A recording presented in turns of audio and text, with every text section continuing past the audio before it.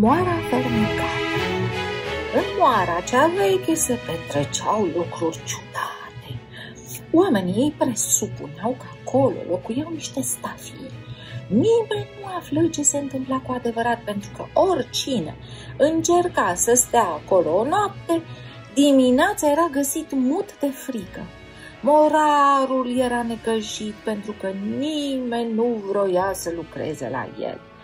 De aceea mare fu bucuria când într-una din zile apăru un băiat care auzise despre cele întâmplate până atunci cu alți ucenici și, nefiindu-i frică, dori să se angajeze la el.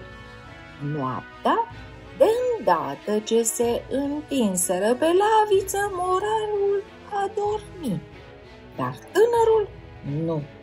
La miezul nopții ușa se deschise de la sine, Lumina se aprinse și o masă plină de bunătăți intră prin ea. În jurul ei stăteau aspeți nevăzuți, care mâncau cu mare poftă. Băiatul vedea cum obiectele, căni, farfurii, furculițe, cuțite, se mișcau de la sine.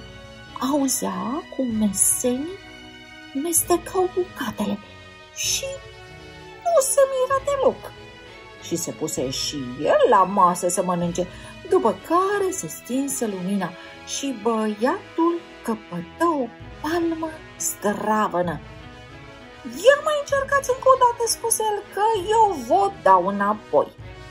Și de îndată, când veni și cea de-a doua palmă, nu mai așteptă cu brațele în sân, ci o dădu înapoi.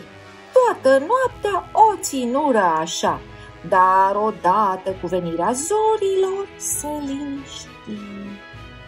În tot acest timp, morarul a dormit și nu a știut ce s-a întâmplat. Începând de atunci, domnește liniștea la moară.